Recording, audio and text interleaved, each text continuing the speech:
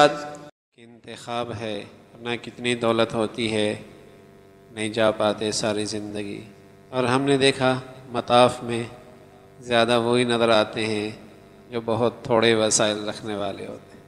मताफ में वही नज़र आते हैं। तो ये अल्लाह का ख़ास करम है, उसने आप हजरात को अपने दरबार के लिए बुलाया है। उसने आप हजरात को अपने दरबार में आने के लिए बुलाया है। अल्लाह की तरफ़ से पैगाम आया है, आपके पास नसीब की बात है।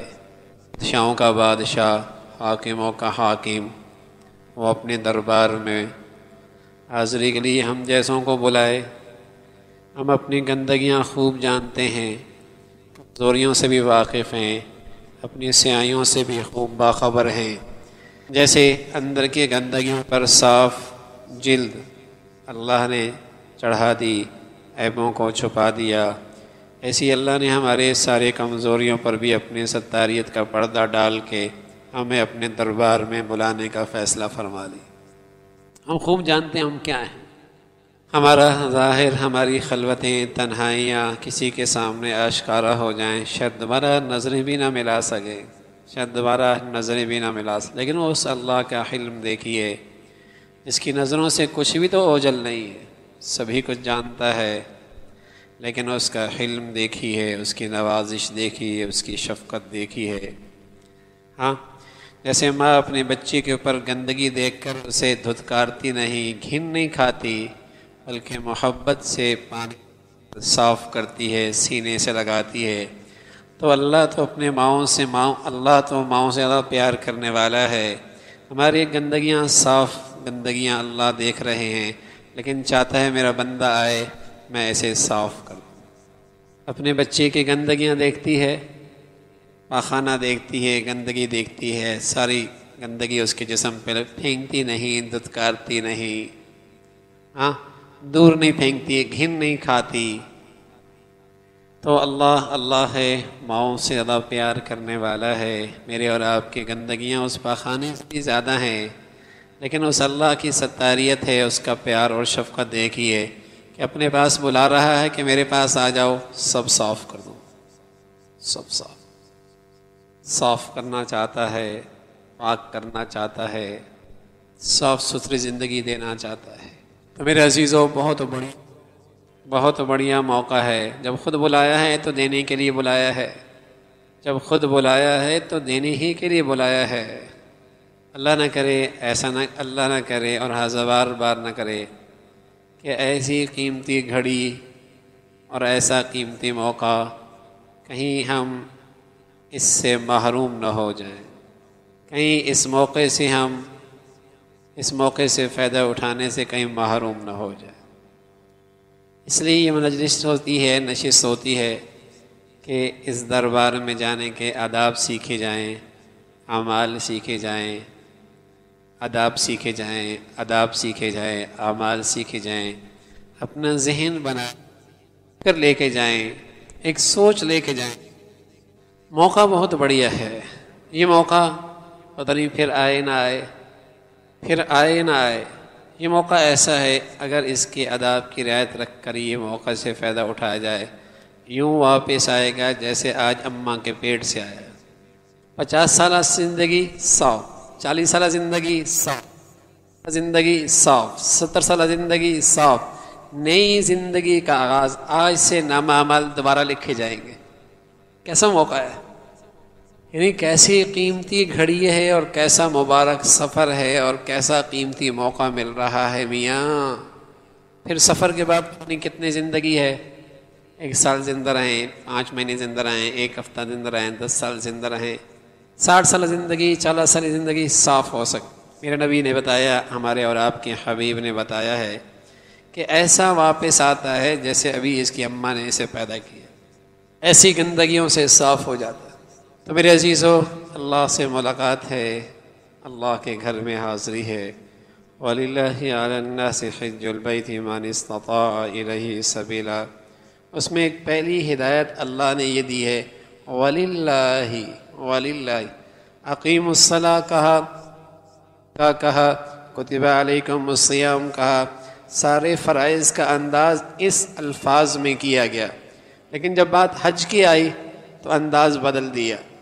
कहा, वलिल्लाही वलिल्लाही अलन्नासी अकीमसला नमाज़ का हुक्म दिया, अल्लाह का तस्करा कोई नहीं आतुज़ा ज़क़़त का हुक्म दिया, अल्लाह का नाम बीच में कोई नहीं कुतबालकुमस्याम रोज़े की फ़र्जियत की बात आई, अल्लाह का तस्करा कोई नहीं। लेकिन जब बात हज की आई, जो बदनी इबादत भी है, माली इबादत भी है। जो बदनी इबादत भी है, माली इबादत भी है। जब इस फरीजी की बात आई तो अल्लाह ने अंदाज़ बदला और हमारे कमज़ोरियों पर नज़र रखी, का ख्याल करना, इस सफ़र में लोग ख्याल करते हैं, हाजी कहलाएँगे, हार पहनाएँगे, दावतें होंगी, वाह वाह होगा, हज करके आया है, कोई तिजारत के लिए, कोई सैरों कोई अपनी गिनती बढ़ाने के लिए, कोई भीख मांगने के लिए, कोई इस नज़र से ये सफ़र करेगा फरमाया, ये हज, ये सफ़र, उसी का सफ़र मुबारक होगा जिसकी नीयत होगी कि खालिस अल्लाह के लिए हज कर रहा हूँ।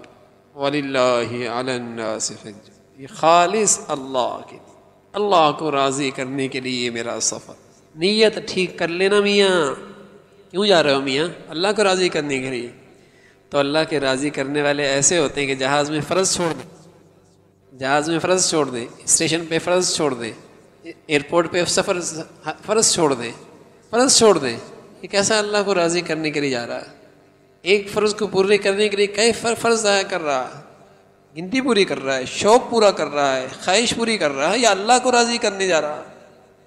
अगर वाकई अल्लाह को राज़ी करना चाह रहा है इस फरीज़े से तो मेरे हो जाए तो इस नीयत में सच्चाई की अलामत ये है इस नीयत में सच्चाई की अलामत ये है कि इसकी ज़िंदगी में सारे फ़राइज़ ज़िंदा हो जाएँ।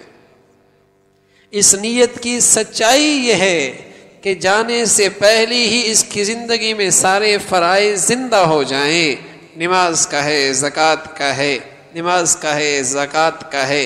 हराम से बचना फ़र्ज़ है, हराम से बचना फ़र्ज़ है। गुनाह से बचना फ़र्ज़ है, अल्लाह के नाफरमानी से बचना फ़र्ज़ हज अल्लाह को राज़ी करने के लिए करने जा रहा है। इस नीयत की सच्चाई यह है कि जाने से पहले इसकी ज़िंदगी में सारे फ़राइ ज़िंदा हो जाए अल्लाह को राज़ी करने जा रहा है। जो बग़ैर पैसे के हज, फ़र्ज़ पूरा हो रहा और जो बग़ैर माली वसाइल के फ़र्ज़ पूरा हो रहा और जो बग़ैर मुशक्क़त उठाए फ़र्ज़ हो रहा उसे तो पूरा नहीं कर रहा और लाखों रुपए लेकर मुशक्क़त उठा के फ़र्ज़ पूरे करने जा रहा है। ये कैसे कर रहा है? ख्वाहिश पूरे करने जा चाहत पूरी करने जा रहा है। शौक पूरा करने जा रहा है या अल्लाह को राज़ी करने के लिए? तो अल्लाह को राज़ी करने के लिए हज है तो हज है।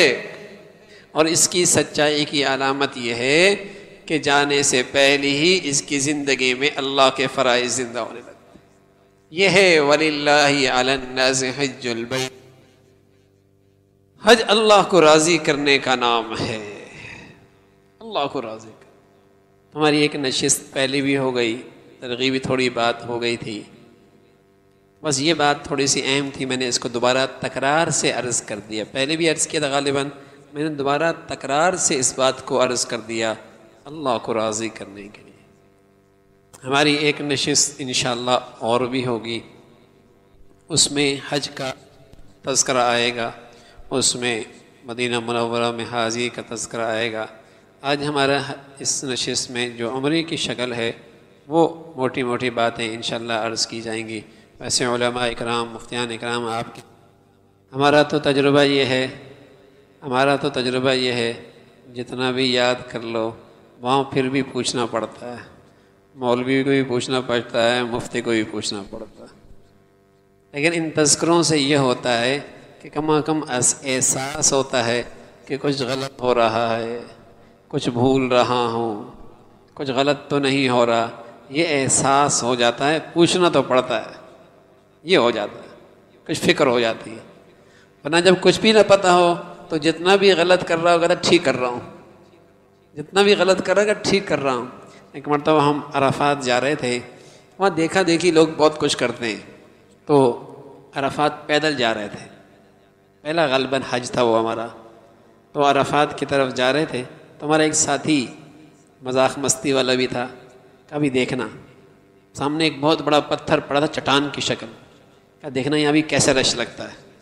उसने जाकर उस पत्थर को दोनों हाथों से पकड़ के चूमना शुरू कर दिया। दूसरा आया, उसने शुरू कर दिया, जिससे लाइन लग गई वहाँ पर। का देखा कैसे हो रहा है? हा? तो वहाँ कहीं बहुत चलता है कि ये सब कर रहे हैं, मैंने भी ये करना है। हा? वो वो कर रहा है, मैंने भी ऐसे ही करना है। तो इन मजलिस से मकसद ये होता है कि आदमी पूछ पूछ के चलता रहे। ठीक है ना? हर देखा हुआ काम नहीं करना हर एक की बात पे नहीं चलना, ठीक है ना? हर देखी हुई बात पे नहीं चलना, हर बात जो सुनी उस पे नहीं करना। अल्हम्दुलिल्लाह, आपके हजमा होंगे, उनसे रहनुमाई में इन अर्ज़ करते रहना। फिर आपकी खिदमत में मोतबर किताबें भी हजरात तकसीम कर देंगे। उसे भी नज़र में रखना तो इन हज आसान, हज मुश्किल नहीं। सब चीज़ें आसान हैं, अल्हम्दुलिल्लाह।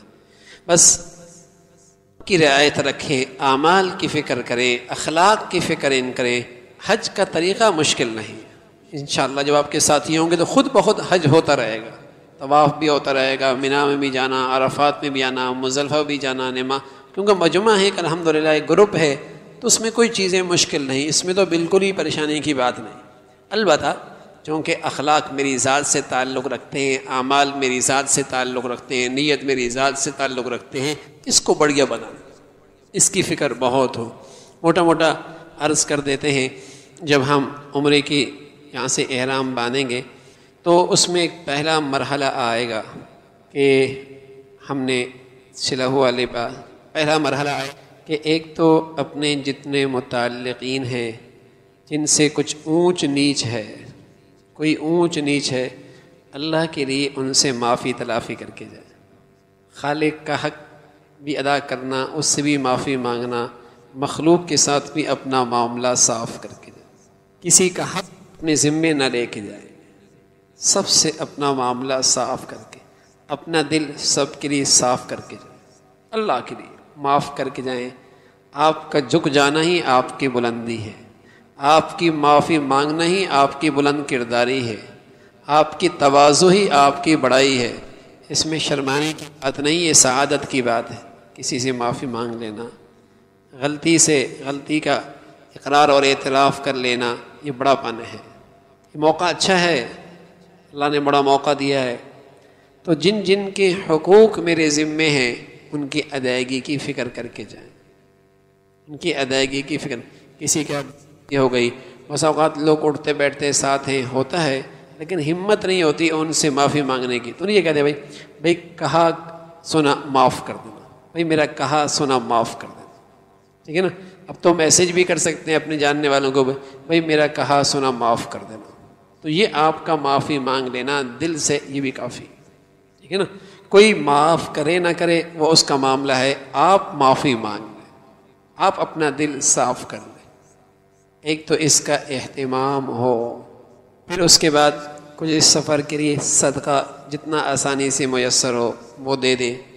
और फिर जाने से अपने बाल अच्छा है, अपने बाल थोड़े बहुत मुंडवा लें धीरे नाफ बाल साफ़ कर लें, बगल के बाल साफ़ कर लें, नाखून काट लें, इसका अहतमाम कर लें। फिर जब आप गसल फरमाएँ करने के बाद आप एहराम बांधेंगे। एहराम तो असल में नीयत का नाम है।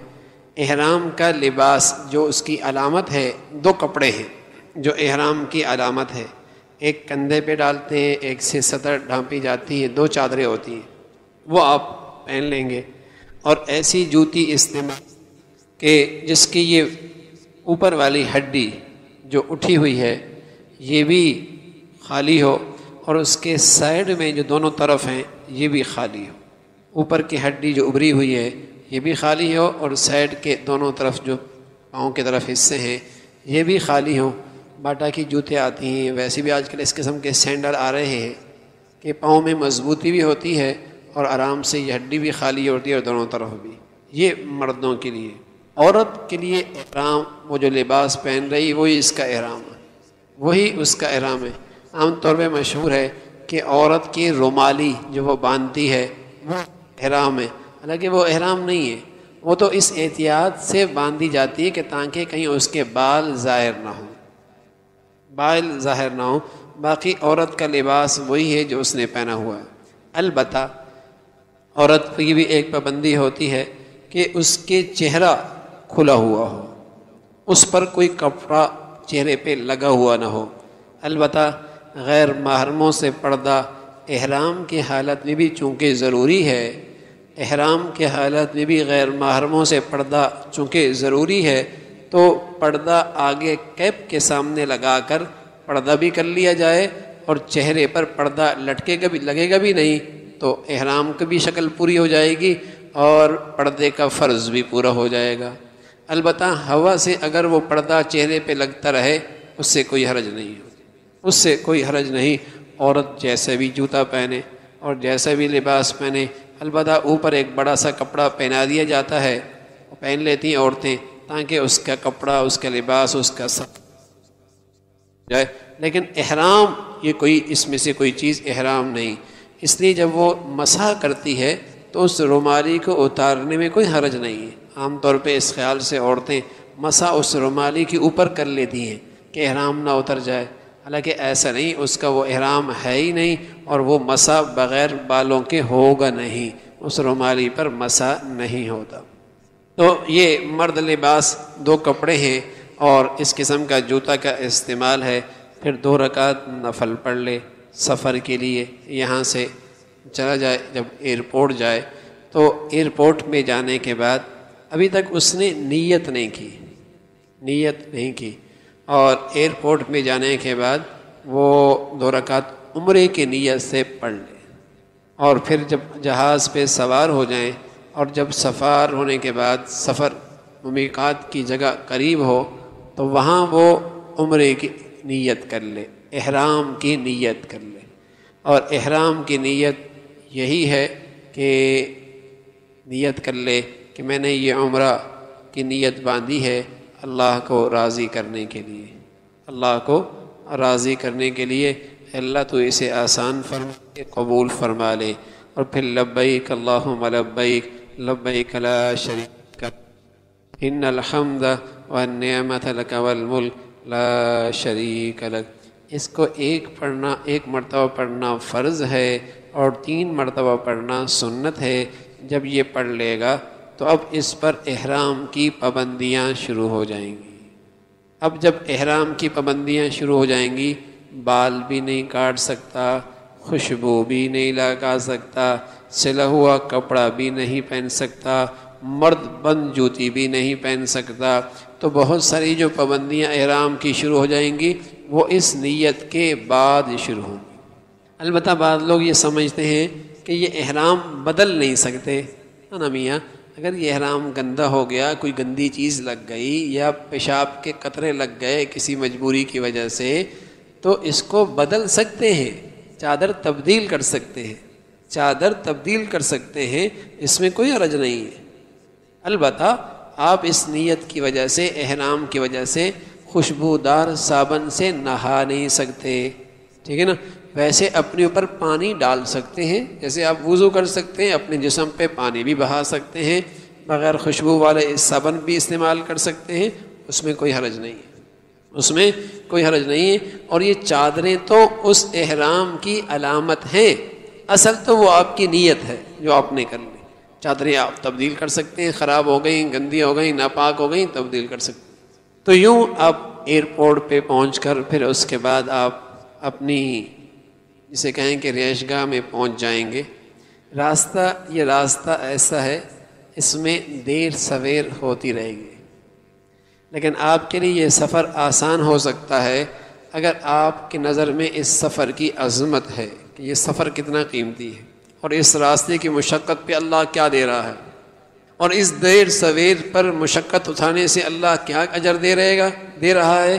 तब तो ये सफ़र आपके लिए आसान हो जाएगा। और अगर आप चाहेंगे कि बस जल्दी पहुँच जाऊँ, जो आपके इख्तियार में नहीं है, जो इन लोगों के इख्तियार में भी नहीं है, लेकिन आप कहेंगे जल्दी पहुँच जाऊँ, जो किसी के इख्तियार में नहीं है वहाँ पर तो आपकी परेशानी में इजाफा होगा पहुँचेंगे उसी वक्त, जब पहुँचने का वक्त होगा। पहुँचेंगे उसी वक्त, जब पहुँचने का वक्त होगा। हाँ परेशान ज़रूर हो जाएँगे आप। हाँ परेशान ज़रूर हो जाएँगे, बेचैन ज़रूर हो जाएँगे। और अगर आपने ये जहन बना लिया कि इस सफ़र की मशक्क़त अल्लाह की रहमत को मुतवजह कर रही है। हाँ ये देर सवेर अल्लाह का कुर्ब बढ़ाएगी, सफ़र बड़ा अजमत वाला है। पहले लोग शवाल में एहराम बाँध के चला करते थे और जिलहज्जा की आठवीं, नौवीं को जाकर मीना पहुँचा करते थे। दो महीने, आठ दिन का सफ़र करके पहुँचा करते थे और यहाँ तो घंटों में आप मक्का पहुँच जाते और फिर भी हम परेशान हो जाते ये भी मैं कम बता रहा हूँ, वरना करने वाले छः छः महीने सफ़र करने वाले, ये भी कम बता रहा हूँ। लोग बड़ी ईद के बाद सफ़र शुरू करते थे और फिर जाकर दूसरी ईद को जाकर बड़ी ईद को वहाँ पहुँचा करते थे। ऐसा मुशक्क़त वाला सफ़र, लेकिन उनके लिए वो मुशक्क़त मुशक्क़त नहीं थी। क्यों? उनके जहन में क्या था? क्या नसीब जाग गए? इतना बड़ा सफ़र। वह हर मंजिल में दो रकात शुक्राने पढ़ते पढ़ते पहुँचते थे और लाखों शुक्राने के नफल पढ़कर बैतुल्ला पहुँचते थे। क्या बनते होंगे मियाँ? क्या बनते होंगे? और क्या उनकी मुबारक सोच होती होगी? हम तो बाज़ार को छोड़ते हैं, बाज़ार को लेकर बैतुल्ला पहुँच जाते हैं, मिनटों सेकंडों में। वही सोच लेके जाते हैं। तो इस रास्ते में ये थोड़ी बहुत चंद घंटों के ऊपर नीचे होगी। लेकिन इस्तेजार रहे, अल्लाह की तरफ़ मुतवज रहें, तिलावत में मशगूल रहें, ज़िक्र अजकार में मशगूल रहें, लब्बैक अल्लाहुम्मा लब्बैक सुबहान अल्लाह ये ऐसा मुबारक ज़िक्र है, दुनिया में कहीं नहीं कर सकते, सिर्फ़ इस हालत में कर सकते हैं। ये जो आपको हालत मिली हुई है, इसी हालत में ये ज़िक्र कर सकते हैं। और सबसे अफजल ज़िक्र है इस वक्त। आप ये करते रहें।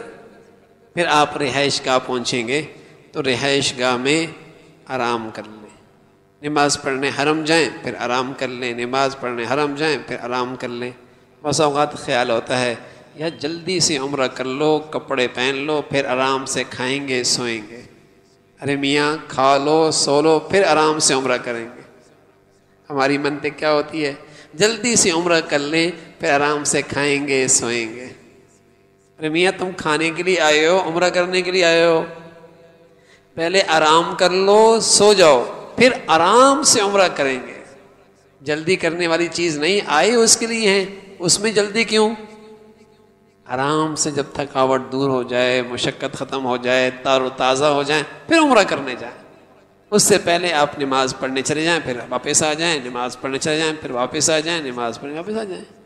और जब आप बिल्कुल इत्मीनान हो जाए और अपने साथियों से मशवरा करके कौन सा वक्त मुनासिब है कि जिसमें रश कम होगा, फिर उम्र कर। माशाल्लाह आप तो पहले जा रहे हैं, वैसे ही रश बहुत हल्का मिलेगा इन लेकिन फिर भी थकावट होती है, आराम कर लें, खा लें, फिर आप उम्र करने के लिए जाएँ।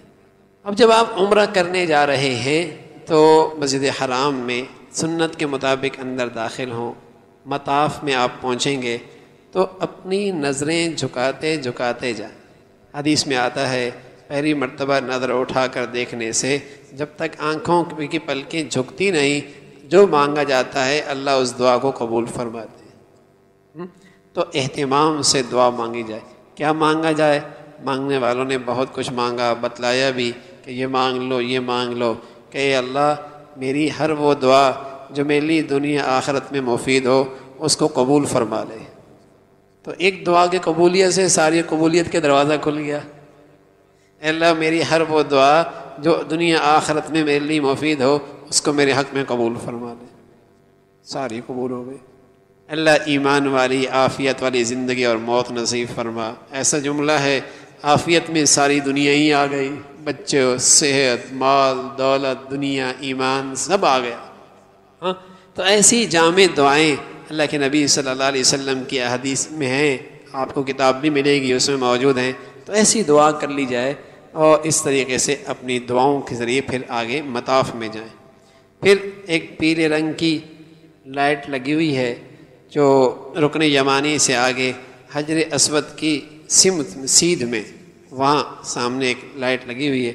वहाँ जाके जब पहुँचे तो उससे थोड़ा बाएँ तरफ़, उससे थोड़ा बाएँ तरफ़ खड़े होकर नियत कर लें कि मैं उम्र का तवाफ़ करने लगा। बिसमिल्लाह अल्लाह अकबर वलिल्लाहिल बिस्मिल्लाह अल्लाह, यहाँ तक हाथ उठाकर, बिस्मिल्लाह अल्लाह अकबर ठीक है ना? फिर उसके बाद थोड़ा सा दाएँ तरफ़ बढ़े। अब बिल्कुल आप हजर असवद की सीध में आ जाएँगे। तो जहर हजर असवद तक आप पहुँच बोसा तो नहीं दे सकते, इस्तेलाम कर लेंगे। बिस्मिल्लाह अल्लाह अकबर अल्लाह अकबर वल्लम हाँ इस तरीके से ये करके, यूँ करके अपना तवाफ़ शुरू कर दें। तो यूँ आप तवाफ़ का, ये पहला आपका तवाफ़ है और इससे पहले अपना ये कंधा भी खाली कर लें इस तवाफ़ के शुरू करने से पहले अपना दायां कंधा भी खाली कर लें और अपनी चादर बगल से उठाकर इस तरफ़ कर लें। और पहले तीन चक्रों में थोड़ा सा पहलवानों की तरह चले। ठीक है ना? पहलवानों की तरह चले। और पहला तवाफ़ होगा। अब जो आपको अरबी में दुआ याद है, उसका अहतमाम करें। अल्लाह के नबी सल्लल्लाहु अलैहि वसल्लम ने कोई ख़ास वजीफ़ा इसका नहीं बताया। अलबत् रुकन यमानी से हजर असवद के दरमियान रब्बना आतिना फिद दुनिया, ये अल्लाह के नबी की मसनून दुआ है, उसका अहतमाम हो। अब जब एक चक्कर पूरा होगा, फिर इस्तलाम करें, फिर दूसरा चक्कर, फिर तीसरा चक्कर, फिर चौथा, फिर तीसरा, जब तीन पूरे हो जाएँगे, फिर नॉर्मल तरीके से, आम तरीके से आप चल कर अपना तवाफ़ मुकम्मल करें। जो आप तेज़ कदमों के साथ पहलवानों के साथ चल रहे थे, उसको आप ख़त्म फरमा कर दूसरे तरीके से, आम तरीके से आप चलना शुरू कर दें। फिर आपने सातवां चक्कर लगाया और आपने आठवां इस्तेलाम किया। ठीक है? और जब आप आठवां इस्तेलाम करेंगे तो फिर आप मकाम इब्राहिम की तरफ़ जाएँगे और कोशिश करें कि आप मुल्तज़म तक पहुँचें। मुल्तज़म, ये काबा का जो दरवाज़ा है, उसके और हजर असवद के दरमियान की जगह का नाम है मुल्तज़म। और ये दुआ की कबूलियत की ख़ास जगह है। दुआ की, कबूलियत की, ख़ास जगह है। अगर मौका मिल जाए तो वहाँ चिमट कर ज़रूर उससे फ़ायदा उठाएँ। लेकिन इस वक्त चूँकि आप एहराम में हैं, वहाँ आम तौर पे खुशबू लगी हुई होती है और इज़्दिहाम भी बहुत होता है तो करीब जाकर दुआ कर तो करीब जाकर दुआ कर लें। लेकिन फिर किसी मौके पे ये मौका मिले तो इस जगह पर जो दरवाज़ा जो बैतुल्ला का है, उसके और हजर असवर के दरमियान की जगह है मुल्तज़म। चिमट कर अपना सीना लगा कर अपना चेहरा बैतुल्ला के, जिसे कहेंगे दीवार के साथ लगा कर हाथ ऊपर करके, वहाँ खूब मांगे दुआएँ वो रोने की जगह है। वो रोने की जगह है और मांगने की जगह है। रश भी नहीं होगा, कोई ना कोई मौका आपको आराम से वहाँ अल्हम्दुलिल्लाह मिल जाता है, बग़ैर किसी को तकलीफ़ दिए। लोग ज़्यादा हजर असवद की तरफ़ जाते हैं। हालाँकि वहाँ तकलीफ़ भी होती है। उससे भी ज़्यादा अफजल जगह मांगने की जगह ये मुलतज़म है, वहाँ अहतमाम हो और वहाँ आसानी से जगह भी मिल जाती है और वहाँ खूब अल्लाह से मांगा जाए। तो बहरहाल ये आठ चक्कर, आठवां इस्लाम के बाद आपने मुलतज़म के पास आकर दुआ मांगी और दो रकात आपने मकाम इब्राहिम के पास या उससे ज़रा दूर शुक्राने के अदा किए और फिर आपने जाके जमज़म का पानी पिया और सुन्नत के मुताबिक आपने अल्लाह से दुआ मांगी इसलिए कि ये पानी ऐसा है जो गज़ा भी है, दवा भी है, गज़ा भी है, दवा भी है। और अल्लाह के नबी सल्लल्लाहु अलैहि वसल्लम ने बताया कि माऊ जमज़मा लिमा बला हो जमज़म का पाना हर मुस मकसद के लिए है, जिस मकसद के लिए उसे पिया जाए। सेहत के लिए पियोगे, सेहत मिलेगी, गज़ा के लिए पियोगे, गज़ा मिलेगी। इल्म में, अमल में और जहानत में, हाफजे में तरक्की के लिए पियोगे, अल्लाह उसमें अता फ़रमाएगा। बशर्त यह कि यकीन पुख्ता हो। हमारा एक साथी था, बैतुल्ला में गिर गया और उसके सर से खून निकलने लगा, सर फट गया। ज़ख्मों पर कौन पानी लगाता है? सादा था, बूढ़ा था, देहाती था। उसने जाकर जमजम का पानी लगा दिया। उसने जमजम का पानी, ठीक हो गया। ठीक है ना? है इसमें सेहत, लेकिन जिस कदर यकीन होगा, इतना वो चीज़ अपनी तासीर दिखाती। हमारा एक साथी अभी भी यहाँ पर मौजूद हैं। वो रमज़ान में गए उन्हें बीमारी थी गैस की। बार बार जाना पड़ता, रमज़ान में गैस की बीमारी कितनी मुश्किल होती है। लेकिन उसने ये बात सुनी हुई थी, जमजम के पानी में शिफा है। इतना पानी पीता था कि पेट में किसी और चीज़ की गुंजाइश नहीं थी। अल्हम्दुलिल्लाह, उसने चंद मरतबा ऐसा किया, अल्लाह ने उसे उस बीमारी से निजात नसीब फरमा दी। वो आज भी ज़िंदा है। माओ जम जम अलीमा शरी बलाहू जम जम का पानी उस मकसद के लिए, जिस मकसद के लिए उसे पिया जाए। यकीन की बात है। तो यूँ जमज़म के पानी के पीने के बाद फिर आप उस पट्टी पर आएँ और उस रोशनी पर जो हजर असवद के सामने है, एक इस्तेलाम और करें। ये इस्तेलाम आपका सई का है। इस्तेलाम करने के बाद आप सई के लिए सफ़ा की तरफ़ चला जाएँ। सफ़ा एक पहाड़ी नुमा जगह है, वहाँ जाएँ और वहाँ से बैतुल्लाह की तरफ़ खड़े होकर दुआ मांगें, अपनी साई का आगाज़ करें इन सफ़ा वलमरवत मिन शाइरिल्ला फमन हज्जलबैत तमर फ़ला जुनाह बिहिमा वमन ततवा खैरन फ़िन अल्लाह शाकिर अलीम यह ऐत पढ़ें, वहाँ खड़े होकर बैतुल्लाह की तरफ़ खड़े होकर दुआ करें और अपने साई का आगाज़ करें। और जब आप सही फरमाएँगे तो दरमियान में एक जगह है, जहाँ हरे रंग की लाइटें लगी हुई हैं, वहाँ आपने दौड़ के जाना है। औरतें दौड़ेंगे नहीं, मर्द दौड़ेंगे। और फिर वहाँ से आप सही सफ़ा से मरवा की तरफ़, वहाँ से फिर आप बैतुल्ला की तरफ़ रुख करके दुआ करें। फिर आप सफ़ा की तरफ़ आएँ और सफ़ा पे खड़े होकर दुआ करें।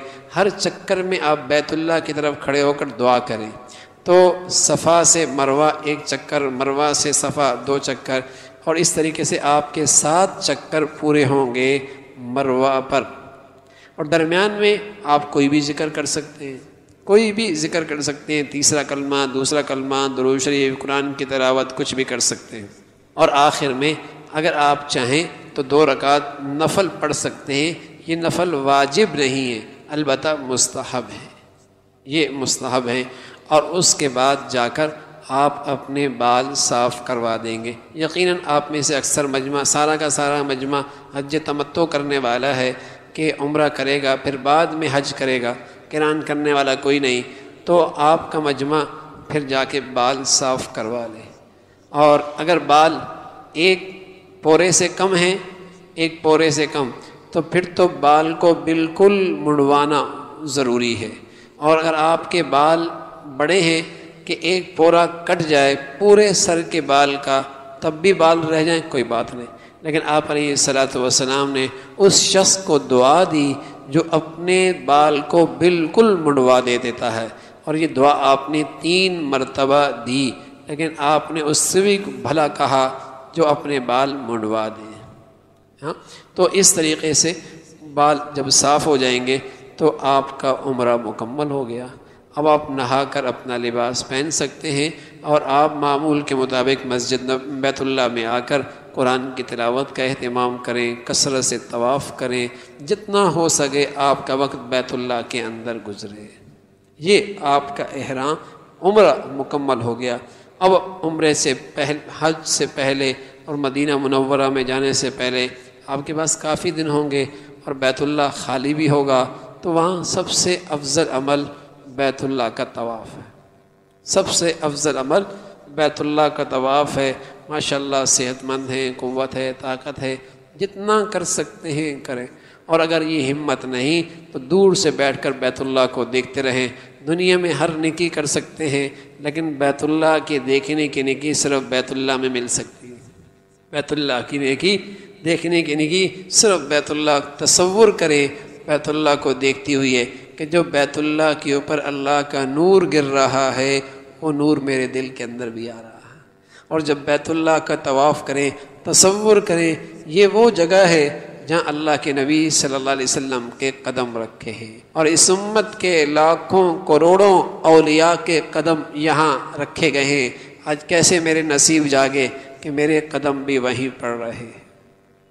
इस तस्वुर के साथ और उस जगह अल्लाह ने पहुँचा दिया है जहाँ के बारे में अल्लाह का हर नेक बंदा तमन्ना किया करता था कि काश कि मैं भी वहाँ पहुँच। जाऊँ आज अल्लाह ने हमें वहाँ पहुँचा दिया है हरम की हवाएँ, फ़िज़ाएँ, मुबारक जगह। तो इस तस्वुर के साथ उसके अंदर रहे, पूरे बैतुल्ला में, हरम में, इस तस्वुर के साथ कि ये वो सरजमीन है जहाँ अल्लाह के हर मकबूल बंदी की चाहत रही है कि मेरे कदम यहाँ पड़ जाएँ। और अल्लाह के हर नबी के कदम वहाँ पड़े। अल्लाह के हर नबी के कदम वहाँ पड़े हैं। ये हरम की ज़मीन पर आज हमारी ज़िंदगी के दिन गुजर रहे हैं। इस तस्वुर के साथ, इन अदाब के साथ हाँ और जिसे कहें कि इन आमाल के साथ वहाँ दिन गुजारे जाएँ। और खूब कमाई का मौसम है मेरे अजीज़ों। वहाँ खूब कमाई में अपने अवकात को लगाया जाए। फिर आखिरी बात, जो मैंने पहली नशस्त भी कही थी कि नेकी करना शैतान नेकी करने नहीं देता। करने पे आ जाए तो बढ़िया नहीं करने देता। अगर बढ़िया भी कर लें, फिर इसकी तीसरी कोशिश ये होती है कि बचा के न लेके जाए। बचा के न ले जाए। अल्लाह ने ये नहीं कहा कि इन हसना थी मंजा बिल हसनती फ़लह अशरमसालिया अल्लाह ने ये नहीं कहा, जो नेकी करेगा, दस दूँगा। ना ना। फरमाया, जो नेकी लेकर आएगा मंजा बिल हसना, जो नेकी लेकर आएगा। इसलिए कि कर लेना भी बड़ी बात है, लेकिन मेरे अजीज़ों, नेकी बचा के लेके आना उससे बड़ी बात है। तो पहले तो शैतान नेकी करने नहीं देता। अगर हिम्मत करके कर भी ले तो बढ़िया नहीं करने देता। अगर कोई हिम्मत करके बढ़िया भी कर दे तो फिर उसकी कोशिश लगती है कि किसी तरह ये नेकी ज़ाया हो जाए, ज़ाया हो जाए, गीबत कर ली। बैतुल्ला में बैठा है, गीबत कर रहा है। बैतुल्ला में बैठा है, गीबत कर रहा है। लाहौला यानी बैतुल्ला में बैठकर इसने दस्तरखान सजाया है, मुर्दार रखे हुए हैं और खा रहा है, खा रहा है, खा रहा है। बैतुल्ला में मुर्दार खाते हैं। कोई आदमी मुर्दे को उठाकर बैतुल्ला ले जाए और वहाँ उसको नोचने लग जाए तो हम उसके बारे में क्या तस्वुर करेंगे? दरिंदा है, क्या है ये? हाँ तो कितना बदनसीब होता है वो हाजी। कि बैतुल्ला में बैठकर जो गीबतें कर रहा होता है क्योंकि आदत बनी हुई होती है, आदत बनी हुई होती है, कर रहा होता है। हाँ? अरबों की गिबत कर रहा होता है, टूर ऑपरेटर की गिबत कर रहा होता है, कमरे वालों की गिबत कर रहा है, साथ रहने वालों की गिबत कर रहा है, टैक्सी वाली और बस औकात ये आदमी पाँच पाँच लाख रुपए दे के जाता है छः छः लाख आठ आठ लाख रुपए के दे और टैक्सी वालों से उलझता है, कितने पर एक रियाल पर लड़ रहा होता है। एक रियाल पर लड़ रहा होता है। और ये आदमी इतना सखी होता है अपने घर में कि दसियों आदमियों को खाने खिलाता है और वहाँ चाय पे लड़ रहा होता है। चाय टाइम पे नहीं मिली। चाय ठंडी मिल गई। खाना ही मज़े का नहीं है। हाँ? खुद इतना सखी अपने घर में कई कई लोगों को खिलाने वाला। हाँ? और वहाँ एक चाय पे लड़ रहा होता खाने की एक प्लेट पे लड़ रहा होता है। ये क्या है? ये शैतान इसकी नेकियाँ बर्बाद कर देता सारी नेकियाँ ज़ाया कर देता इसने की और ज़ाया कर दी की और ज़ाया कर दी तो मेरे अजीज़ों, इससे बड़ा होशियार रहना बड़ा दुश्मन है ये। ये हमारा बड़ा दुश्मन है। ये हमारे नेकियों का, सरमाइयों का बड़ा दुश्मन है। नहीं रहने देता। तो इसका हल क्या है? ज़्यादा वक्त तिलावत में गुजरे, तवाफ में गुजरे आपके पास वक्त ही ना हो गपशप करने का। आपके पास वक्त ही ना हो गपशप करने का। जहाँ गपशप शुरू हुई, वहाँ गिबत शुरू हुई। कोई ना कोई मौजूद तो बनेगा ना। जहाँ गप शप शुरू हुई, गिबत शुरू हो गई। आपके पास वक्त ही ना हो भाई, ज़िंदगी के दिन थोड़े हैं। अल्लाह ने यह मौका दिया है। सीज़न लगा हुआ है, कमाई की जगह है। कसरत से कुरान की तिलावत, कसरत से तवाफ़ का अहतमाम और कुछ भी नहीं बैतुल्ला को देखते रहें तस्वुर करते रहें, अल्लाह का नूर मेरे दिल में आ रहा, मेरे दिल में आ रहा। फिर ये सफ़र सफ़र होगा। अल्लाह रब्ज़त भाई, मुझे भी और आपको भी जो कुछ कहा सुन अमल की तोफ़ी नसीब फरमा दे। आखिर ताबान अल्लाहमद कुल्लू वलक शुक्र कुल्लू। अल्लाहमदिक व शुक्रिक व हसन इबादतिक। मौला मिन अज़ीज़ों की, बुज़ुर्गों की यह हाज़री कबूल फरमा ले। अल्लाह इनके लिए सफ़र आसान फरमा दे, कबूलियत वाला फरमा दे, अपना पसंदीदा फरमा दे। अल्लाह उन अदाब और उन जज्बात के साथ, जो जज्बात अदाब आपको पसंद हैं अल्लाह उन जज्बात के साथ और उन उस ज़ोक़ शौक़ के साथ अपने दरबार में हाज़री नसीब फरमा। है अल्लाह जो ज़ोक़ शौक़ और जो अमाल आपको पसंद हैं, उसी ज़ोक़ शौक़ और अमाल के साथ इन्हें अपने दरबार में हाज़री की तोफ़ी नसीब फरमा। अल्लाह, हमारा ज़ाहिर भी साफ़ फरमा, हमारा बातिन भी साफ़ फरमा, हमारी नीयतों को भी पाक फरमा। अल्लाह, खलूस भी नसीब फरमा, अपनी रज़ा का जज्बा नसीब फरमा। और ये सफ़र हमारी पूरी ज़िंदगी के बदलने का दरिया बना। मामलात, इबादत माशरत सब के अंदर अपनी एतात वाली ज़िंदगी नसीब फरमा। मौला करीम, हर किस्म की बीमारियों से, हर किस्म के रूहानी बीमारियों से, हर किस्म के ख़ताओं से हमारे दिलो दिमाग को साफ़ फरमा, पाक फरमा, पाक ज़िंदगी, नेक ज़िंदगी, इतात वाली, तकवे वाली ज़िंदगी नसीब फरमा।